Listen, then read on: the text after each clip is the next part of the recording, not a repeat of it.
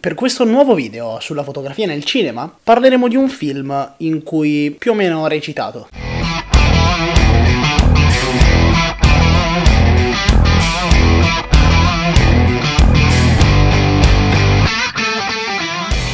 Io sono Simone Tarca e in questa serie di video vi parlo di fotografia nel cinema. Analizzerò vari film dal punto di vista di un fotografo. Parleremo dunque di come i direttori della fotografia e i registi abbiano illuminato alcune scene, insomma di quanto sia importante la fotografia nel cinema stesso. E sì, non è propriamente vero che io abbia recitato in questo film, però alcuni di voi mi hanno sottolineato una certa somiglianza con George McKay. Detto ciò, oggi parliamo di un film che in tantissimi mi avete chiesto di trattare. 1900 1917. Per la regia di un Sam Mendes che si era un po' fermato dall'ambiente del cinema negli ultimi anni, abbiamo alla fotografia un direttore di cui abbiamo già parlato nello scorso video, quello su Blade Runner. Infatti entrambi i film, Blade Runner 2049 e questo 1917, sono le due pellicole con cui Roger Deakins ha vinto l'Oscar. Beh sì, due Oscar di fila per due film che hanno una fotografia veramente pazzesca. Vi dico solo che è uno dei più grandi direttori della fotografia del cinema contemporaneo. E vi riassumerò anche brevemente quella che è la trama di 1917. È una trama molto semplice e abbastanza lineare. Questa linearità sarà il cardine di questo video e del film stesso. Siamo nell'aprile del 1917, quindi prima guerra mondiale, e sostanzialmente il film segue la vicenda di due giovani soldati che devono portare un messaggio per sventare un genocidio da parte dei tedeschi. Non vi dico altro perché la trama è molto semplice e non voglio farvi troppi spoiler. Come vi ho detto però appunto iniziamo a trattare il tema della linearità. Questo film inizia con una sorta di countdown. Io mi emoziono un sacco quando un regista in un film riesce riesce a farmi percepire al meglio il tempo che stanno vivendo quei personaggi. Parlavo proprio ieri sera con la mia ragazza di Star Wars episodio 4 quando viene distrutta la morte nera. Ecco, in quel momento abbiamo tre presenti che vivono lo stesso countdown, che però si uniscono sinergicamente grazie alla bravura di come l'ha pensato George Lucas e riusciamo a immergerci al 100% nella scena. E mettendo un attimo da parte Star Wars, torniamo un attimino a 1917. Come ha fatto il regista Sam Mendes a farmi percepire al al meglio questo countdown, girando tutto il film in un piano sequenza. Beh, il countdown è dato proprio dal fatto che i ragazzi devono portare questo messaggio prima che i tedeschi riescano a effettuare quell'attacco. E il regista, per immergerci dentro questa situazione, ci racconta tutto il film in tempo reale, con un piano sequenza unico. Che cos'è sostanzialmente il piano sequenza? Il piano sequenza è una tecnica molto utilizzata nel cinema, si utilizzava già ai tempi di Hitchcock e se voleste approfondire, proprio relativamente a questo video, tutto il tema del piano sequenza, c'è un'analisi fatta molto bene di 1917 sul canale della Slim Dogs nell'episodio di come cazzo hanno fatto dedicato a questo film. Ve lo lascio linkato giù in descrizione. Io mi limiterò a trattare tutta la parte fotografica del film, loro hanno trattato la parte video. Sostanzialmente il piano sequenza è una scena in cui la camera si muove, segue il personaggio, no? segue l'azione, ma non si ferma mai, non ci sono tagli. Quindi immaginatevi un film di due ore senza tagli, cioè tutta una ripresa continua per due ore con cose che succedono. Ovviamente non è proprio così, ci sono dei tagli fantasma, però vengono mascherati ad hoc per farci comunque percepire questa linearità, questa continuità che in questo caso, in questo film, ci fa sentire proprio parte della scena. Per girare un film in piano sequenza devi organizzare tutto. Ci sono stati mesi, mesi e mesi di preparazione dietro a 1917. Ogni cosa è stata studiata, provata e riprovata per mesi, proprio perché ogni errore durante le riprese avrebbe costretto la truppa a ricominciare da capo. Immaginatevi un film classico pieno di tagli. Tu fai una scena, l'attore magari sbaglia oppure succede qualcosa di inaspettato, di imprevisto, rigiri la scena. La maggior parte delle scene del cinema sono girate decine e decine di volte, soprattutto quelle più complesse. Qui invece non potevi girare tutto tante volte. Perché? Perché ci sono innanzitutto un sacco di limitazioni, di cui andremo a parlare a breve. E poi immaginatevi di girare una scena di 10 minuti in piano sequenza, arrivate al minuto 9.50 90 l'attore si sbaglia o succede qualcosa, insomma c'è un errore di progettazione e dovete rigirare tutto da capo e magari la scena era perfetta ma non potete metterci tagli perché il film è stato studiato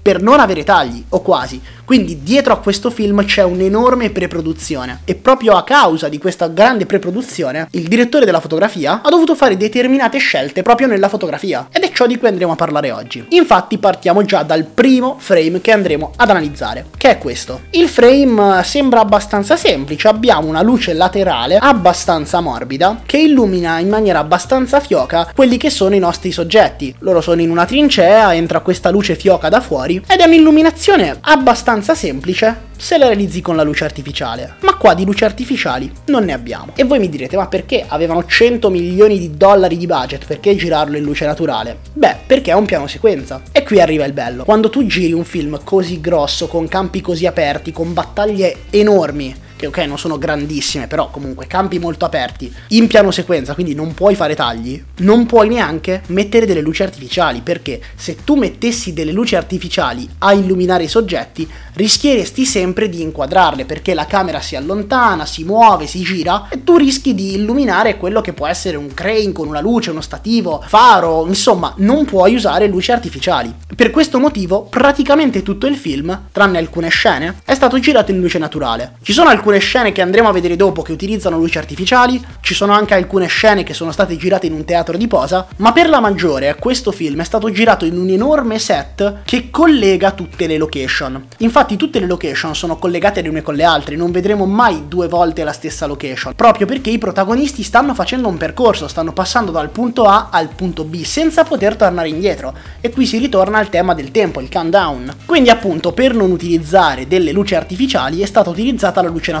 Ma appare qui un altro problema, il sole. Innanzitutto perché il sole è mutevole, potrebbe bruciarti una scena, poi arriva una nuvola, diventa troppo scuro, magari poi ti crea un'ombra brutta e poi se tu consideri di dover girare un film con il sole in piano sequenza e di girarlo in svariate giornate di riprese, hai un problema, cioè che il sole si muove, ok, ruota, e quindi le ombre che crea sul viso non hanno una certa coerenza. Per questo motivo, e per lasciare un'immagine più drammatica e più tenue, hanno deciso di girare tutto con un cielo nuvoloso nuvoloso. Questo perché appunto le nuvole ammazzano le ombre e tu hai un'immagine sempre molto flat, molto piatta. Ma qual è la cosa figa del frame che vi ho fatto vedere? Beh, questo frame ha innanzitutto un'illuminazione quasi al contrario rispetto a quella che è l'illuminazione di tutta la pellicola, perché abbiamo una sorta di controluce che però muta in base alla posizione dei soggetti che si muovono appunto durante la scena. Tuttavia, la scena stessa deve mantenere una coerenza con quella che è l'illuminazione della scena prima, quella in cui i personaggi entrano dentro dentro questo bunker.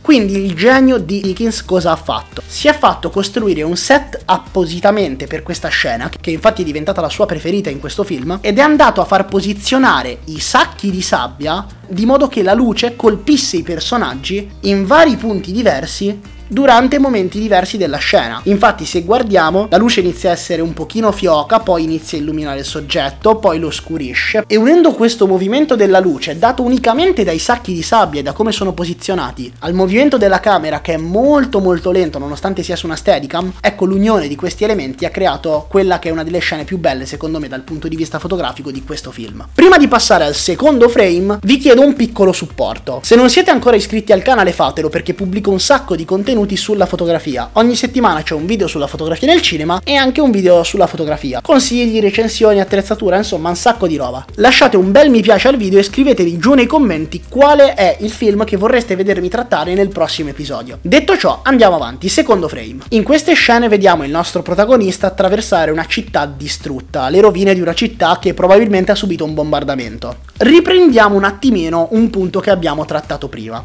Il set è costruito ad hoc. Tutto ciò che c'è nel film, tutti i set che vediamo, sono stati costruiti con delle miniature. E il regista, insieme al reparto degli sceneggiatori, cosa ha fatto? Si è messo lì e ha detto ok, io ho questa scena di boh, 3 minuti. Perfetto, voglio che la dimensione di questo set sia 3 minuti di camminata. Quindi quanto ci mette il soldato a camminare per 3 minuti? Così, ok, allora voglio che sia di questa dimensione. Poi voglio questo muro e quando sarà su questo muro allora ci sarà questa luce. Poi si sposterà di qua e ci sarà quest'altra luce, con una differenza sostanziale. Quando te fai la scena di giorno e c'è tutto nuvoloso, allora tanto tanto, non ci sono ombre, la luce non è troppo dura, insomma, riesci a giocartela tra virgolette bene. Ma quando devi illuminare una scena di notte? Abbiamo detto che non possiamo utilizzare luci artificiali, cioè luci piazzate direttamente sul set, perché? Perché altrimenti si vedono. Magari l'attore ci passa a fianco, l'inquadratura si sposta, pian pianino si allontana e se tu sbagli perché magari ti si vede una luce lontana che non dovrebbe esserci e nel cinema si usano sempre luci dove non dovrebbero essere,